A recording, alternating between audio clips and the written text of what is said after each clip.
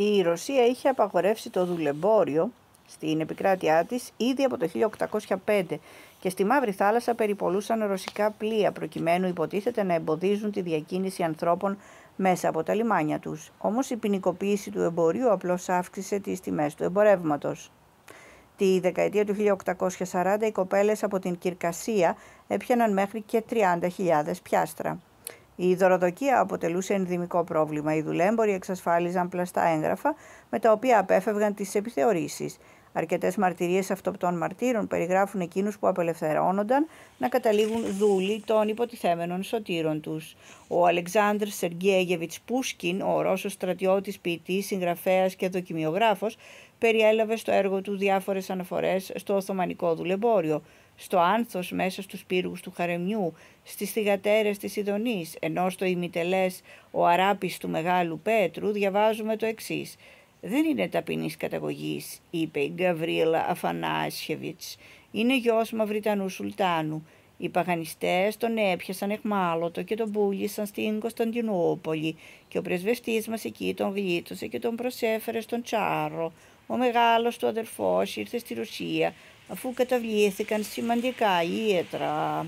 Το γεγονός ότι ο Πούσκιν, ο οποίος περιέγραψε με έκθαμβο ενθουσιασμό τις γυναίκες που πλένονταν στα φιλίδωνα νερά των Οθωμανικών λουτρών της Τυφλίδας στη σημερινή Γεωργία και ο οποίος σε ολόκληρη τη ζωή του έγραψε με τόσο στερεότυπο τρόπο για τις ενίκους του Χαρεμιού ήταν ο ίδιος προϊόν του εμπορίου ανθρώπων με επίκεντρο την πόλη, εμπεριέχει μια ισχυρή δόση ηρωνίας. Ο προπάπος του ήταν Αιθίωπας ή Καμερουνέζος σκλάβος, τον οποίο είχε αγοράσει ο Ρώσος πρεσβευτής σε κάποιο σκλαβοπάζαρο γύρω από το μεγάλο παζάρι της πόλης.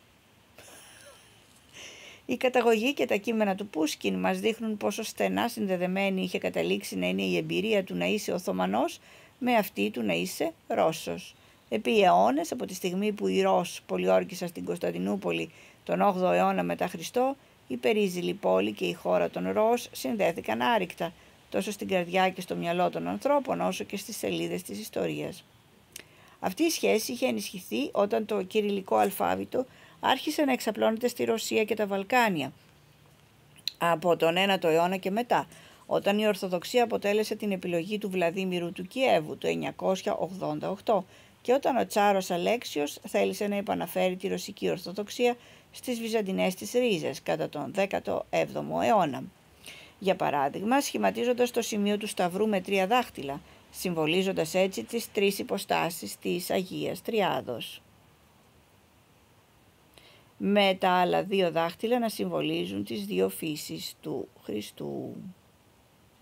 Το ανησυχητικό για την πόλη είναι ότι συχνά επιφυλάσσουμε τις σκληρότερες τιμωρίες σε εκείνους που έχουμε αγαπήσει.